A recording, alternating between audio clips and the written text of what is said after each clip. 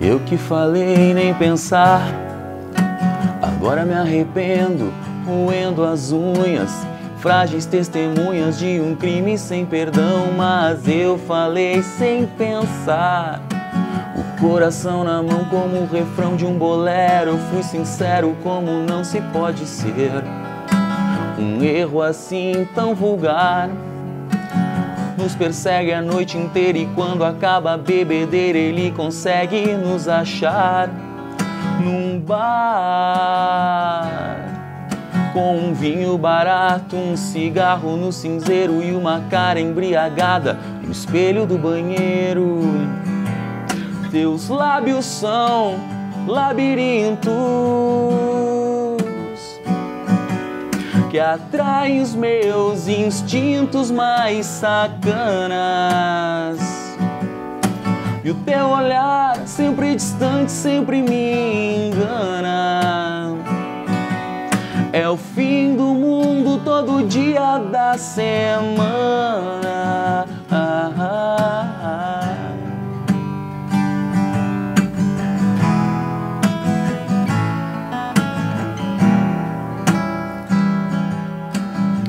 Que falei sem pensar, agora me arrependo, roendo as unhas, frágeis testemunhas de um crime sem perdão. Mas eu falei sem pensar, o coração na mão como o refrão de um bolero. Eu fui sincero, eu fui sincero.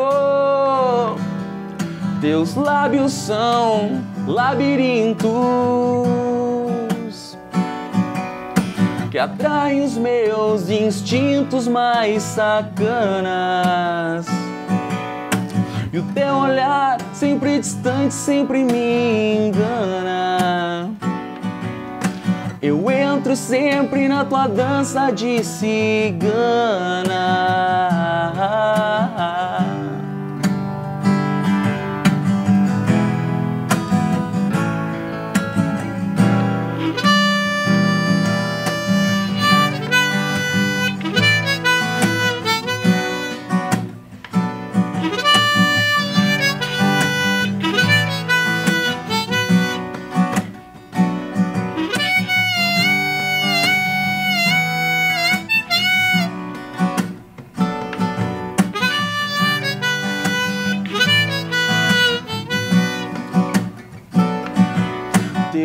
Lábios são labirintos que atraem os meus instintos mais sacanas. E o teu olhar, sempre distante, sempre me engana. É o fim do mundo todo dia da semana. Boa noite, estamos começando mais um Pauta Livre, programa pela TV Câmara Erechim, sempre trazendo muita informação, cultura, esporte e lazer de Erechim. E no programa de hoje nós recebemos os integrantes do projeto Latitude e 27 que vão falar um pouco da história dos projetos e desse novo projeto, um projeto paralelo dos guris que já estavam no meio da música, mas que seguem e trilham agora um novo, um novo caminho nas suas vidas musicais. Gostaria de agradecer a presença de vocês no nosso Pauta Livre de hoje. Daniel, aonde que a gente chega nessa coordenada Latitude 27, que é o nome do projeto? Boa noite. Boa noite, Thiago. Muito obrigado pelo convite para participar do programa. Latitude 27 chega em Getúlio Vargas, estação, que é onde a gente é a nossa nosso quartel-general. Ali que começou o nosso projeto. A gente toca junto há algum tempo já na Velho Jack. E aí a gente começou a fazer, eu comecei a fazer voz e violão e o Patrick começou a fazer parte disso. Era Dani Beto tocando na noite e o Patrick começou a fazer parte. Até que a gente resolveu, bah, vamos fazer juntos. E aí a gente começou a tocar como dupla. Mas aí fica essa coisa dupla, Dani Beto e Patrick Mormon, né? E aí não era para ser uma dupla e vamos botar um nome no projeto. Aí o Patrick sugeriu alguma coisa com Latitude, não lembro qual era a latitude alguma coisa. aí eu tive a ideia, eu pensei, ah, vamos, vamos procurar qual que é a latitude certa, né? E aí 27 é lá onde encontra a gente. Na verdade, latitude menos 27 porque está abaixo da linha do Equador, né? Mas para tirar a negatividade, vamos deixar positivo, latitude 27. Gostaria então, uh, Dani, que vocês se apresentassem para o nosso telespectador, para eles conhecer um pouco mais de vocês. Sou Daniel Beto, uh, toco violão e sou vocalista. Tenho a banda Velho Jack, como eu já disse. Sou também jornalista e assessor de imprensa, é meu trabalho. Tem que ter um trabalho ainda, né? Lógico. E estou aqui agora. Você é natural de Erechim? Sou natural de Esteio. Esteio. Esteio. Patrick, se apresenta para o nosso telespectador. Muito boa noite. Uh, meu nome é Patrick Borgman, uh, eu sou natural de estação. Uh, no projeto Latitude 27 eu toco violão e gaita de boca. Além do, do Latitude, você participa da Velho Jack também. Isso, justamente. Na, na Velho Jack eu atuo como guitarrista. Dani, há quanto tempo surgiu a ideia desse projeto? Vocês têm agora poucos meses ainda, né? É, na verdade, como Latitude 27, na verdade, tem um tempo um pouco menos. Mas a gente começou a fazer esse projeto que é acústico é, com algumas coisas de percussão, uma coisa diferente, assim, tem cinco meses. Foi o primeiro show que a gente fez junto que começou essa história toda. Então é um, bem recente, né? Então são cinco meses, eu acho que fecha agora dia, não sei qual dia, mas são cinco meses que está fazendo agora. É um, um, bebê ainda nesse projeto, né? Está começando. Nós começamos o nosso programa de hoje com vocês fazendo uma interpretação da música Refrão de um Bolero, do Engenheiros do Havaí. Eu gostaria de saber se talvez ele seja uma principal influência desse projeto. Não sei se é principal, talvez, mas com certeza uma das, das mais importantes, até pelo uso da gaita de boca, uh, no, no pouca vogal que o Humberto tem. Eles usam bastante elementos que são dois, então fecha bastante com o que a gente tem da ideia. E então é uma das bandas que mais influencia, com certeza, mas são muitas coisas que vêm atrás, né? várias influências diferentes que, que agregam nesse nosso novo repertório. E até porque a gente é em dois, né? Então é uma coisa que, é, que é diferente da banda, cada um tem que dar um pouco mais de si, né? Porque com a banda dá para dividir mais as tarefas. Como é só em dois, é aquela história do quem sabe faz ao vivo, sabe? Daí... Todo músico tem aí suas bandas preferidas. Eu gostaria de saber qual que é as suas maiores influências, né? Eu para mim, a principal influência que me fez estar aqui hoje e tocar é Guns N' Roses. Tipo, foi a banda que lá eu tinha 10 anos que eu ouvi, meu Deus, eu tenho que fazer isso. É isso que eu quero fazer da minha vida. Foi o principal de todos. E aí nisso fica Guns, ACDC, Aerosmith, eh, Metallica, Nirvana, Pearl Jam. E claro daí Engenheiros do Havaí, Legião Urbana, Raul Seixas, que são essa coisa nacional, Paralamas do Sucesso, rock nacional bem forte. Mas é basicamente no rock, assim.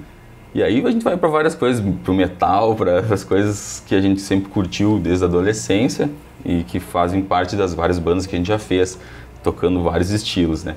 Então é difícil já a gente hoje quando o cara vai amadurecendo, tu vai começando a deixar de ter preconceitos com alguns estilos musicais que, que não curtia antes, então já vira uma bola gigante assim de, de influências que se perdem e acabam virando o que a gente faz no nosso som.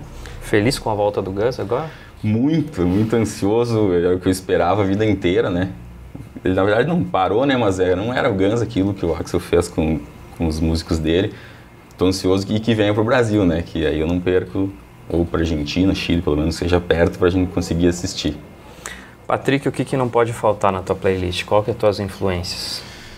Uh, eu tenho uma grande influência uh, de Purple, uh, Nirvana, Led Zeppelin, Uh, deixa eu ver o que mais. Uh, Stone Temple Pilots, de nacional daí tem Engenheiros, tem Raul. Uh, internacional gosto também bastante de Bob Dylan. Uh, enfim, eu tenho, eu tenho bastante influência também numa área assim do country rock, folk, sabe? Alguma coisa meio progressiva também. Pink Floyd é uma, é um, uma banda que me influencia bastante, que não pode faltar no nosso repertório, que seria Pink Floyd. O, o clássico do rock influencia todo mundo, não adianta. É, não adianta, não foge dessa, né? Pegou a gente de jeito há muito tempo atrás e não tem como largar, né? Infelizmente só tem ficado cada vez mais coisas do passado, né? Novidades são poucas que a gente citou aqui, praticamente só banda velha.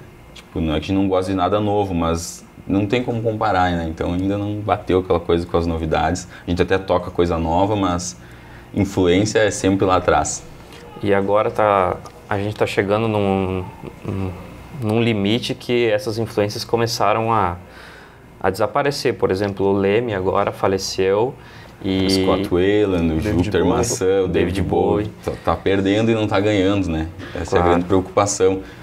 Que e talvez quando terminar essas influências, o que, que a nova geração vai, vai são, usar como influência? São poucos né? que estão sobrando, né? Então é preocupante também. Claro, a música que eles fizeram, a história que eles criaram é eterna, mas a gente vai ficar só no passado, né? Parece que sim. Cadê a novidade? Nós vamos encerrando o nosso primeiro bloco do Pauta Livre de hoje, conversando com os guris que são é, que estão aí com o projeto Latitude 27, fazendo uma homenagem ao camaleão do rock, que era mais conhecido, o David Bowie. Nós vamos para um rápido intervalo e já voltamos com mais Pauta Livre.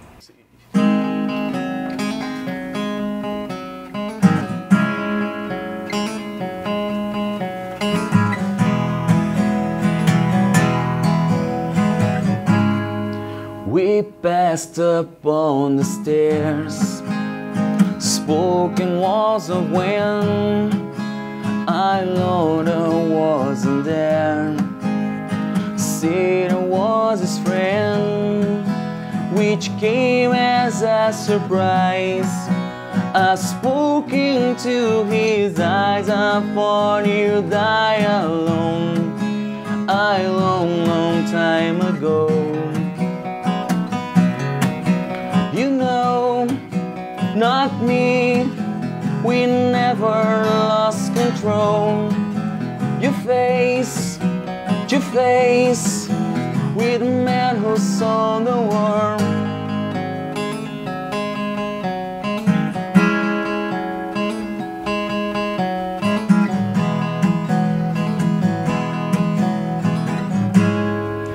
I love the sharks' hands Made my way become I searched the forest lands For years and years I roam We gaze up faceless stairs. We walked a million years thought you die alone. A long, long time ago. You know, not me. We never lost control. You face to face With a man who saw the world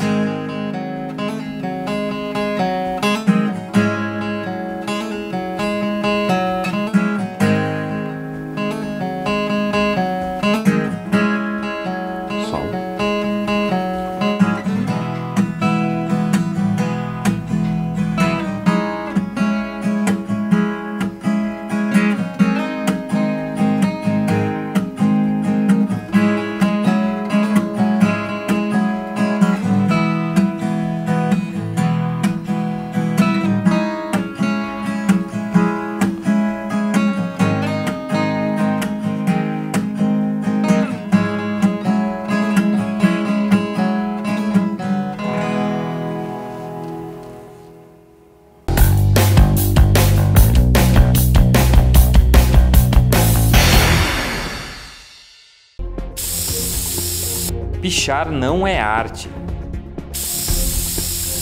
Pichar não é grafite. Pichar é crime.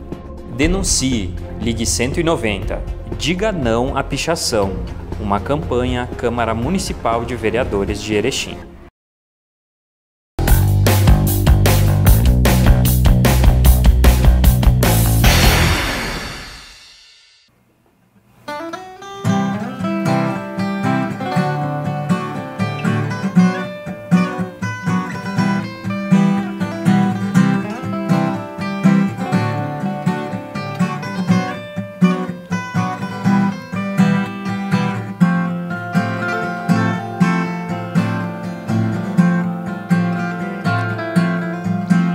Tá escuro e ninguém te ouve, quando chega a noite E você pode chorar a uma luz de um túnel dos desesperados a um caso de porto pra quem precisa chegar. Eu tô na lanterna dos afogados, eu tô te esperando, vê se não vai demorar. Oh, oh.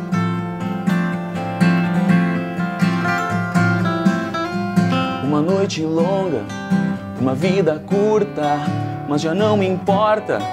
Basta eu poder te ajudar, e são tantas marcas que já fazem parte do que eu sou agora, mas ainda sem me virar. Eu tô na lanterna dos afogados, eu tô te esperando, vê se não vai demorar.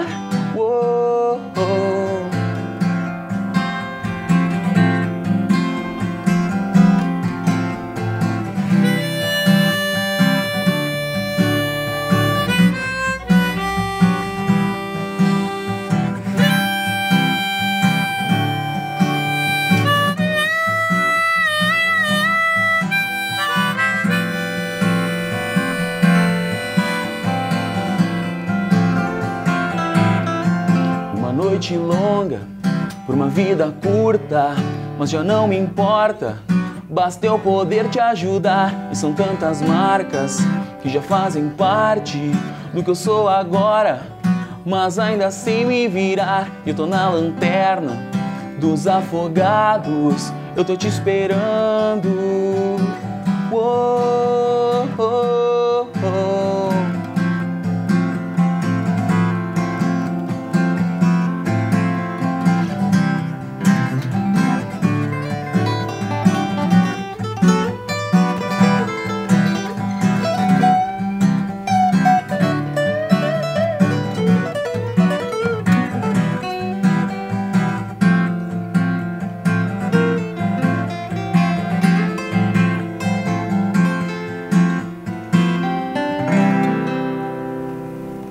Retornamos com o nosso pauta livre dessa noite, recebendo os autores do projeto Latitude 27, Daniel Beto e Patrick Borgman, contando um pouquinho desse projeto que está iniciando, mas que tem tudo para ser um sucesso.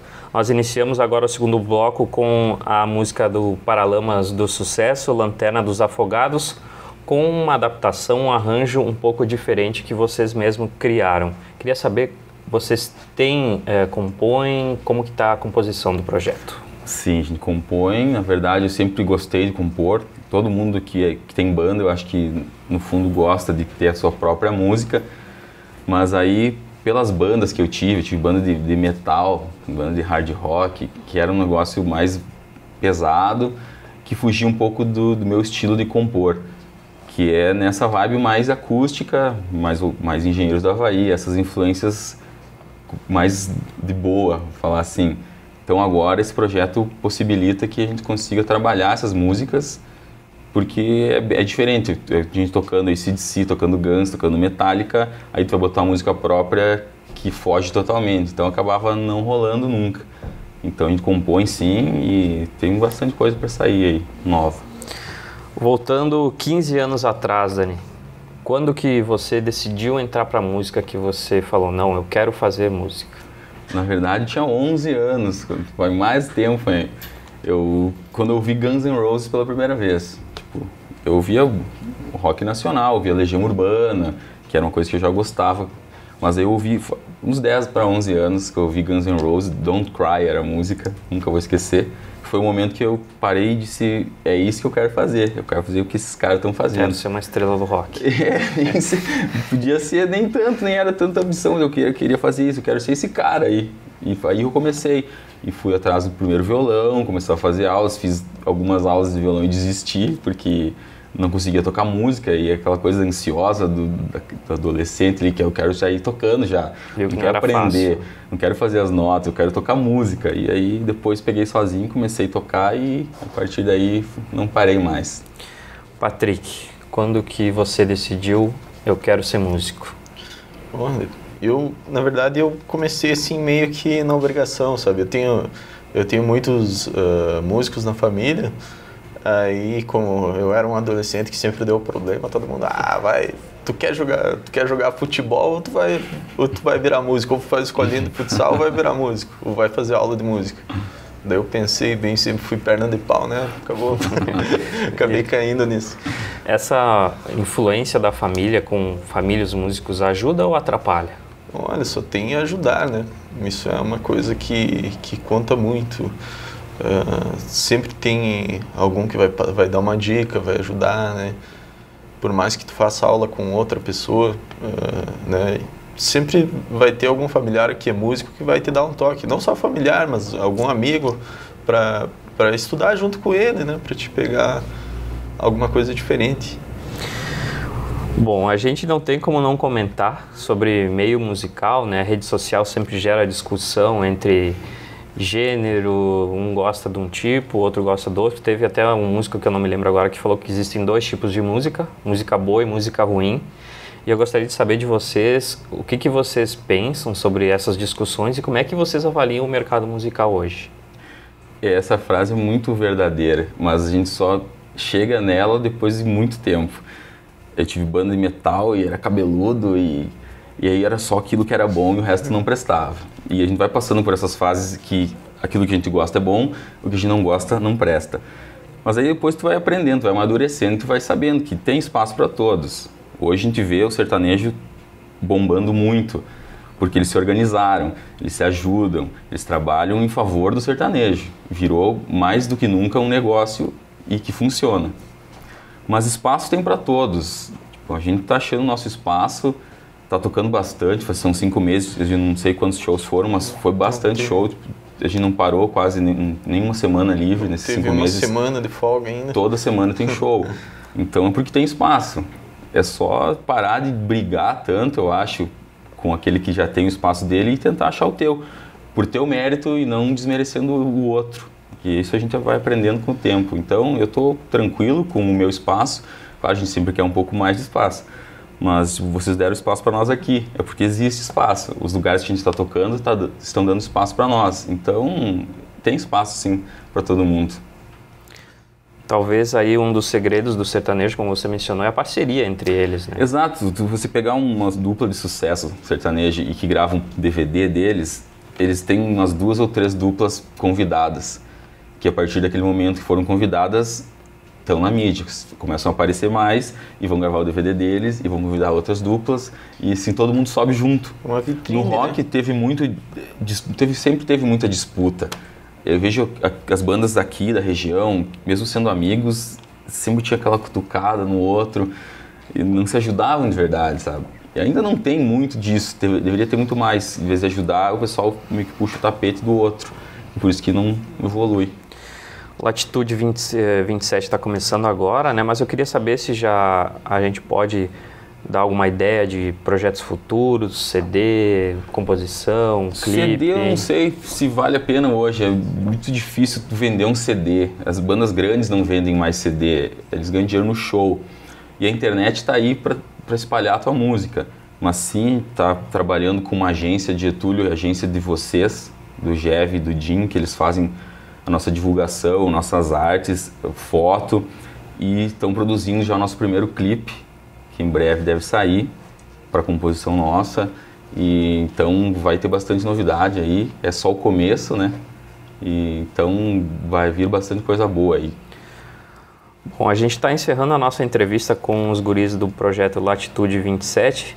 Dani e Patrick, eu queria deixar esse espaço para vocês deixarem contatos, canal oficial no YouTube, página no Facebook, onde é que o pessoal encontra vocês e o projeto Latitude 27. Tá lá, facebook.com barra latitude 27, tudo junto. Por extenso, é extenso, por extenso, não é numeral. Não, sem o número, é por extenso. E aí tem lá, vai ter vídeos, vai ter fotos, vai ter nossos telefones de contato, e-mail, vai, tá saindo o site também logo. Mas o Facebook hoje é a ferramenta mais completa, eu acho, para contratar, para procurar referências, tá, tá tudo lá bem fácil, assim, tem o nosso link do YouTube tá lá também. Uh, é bem fácil encontrar a gente. Latitude 27. Gostaria de agradecer a presença de vocês no nosso programa Pauta Livre.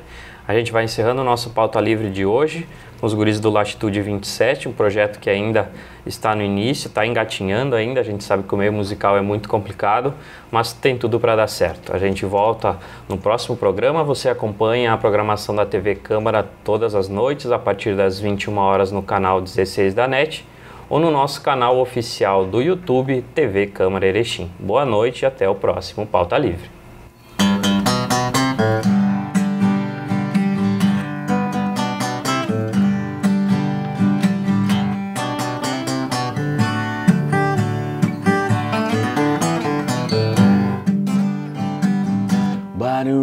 Rivers of Babylon, when he sat down, and there he wept, and we remember Zion. By the rivers of Babylon, when he sat down, and there he wept and we remember Zion. Oh, Father, wicked carrier to a captivity, require from us a song. How can we sing King of a song in a strange land? So let me words of our hearts and the meditation of our hearts be except to believe thy sight override.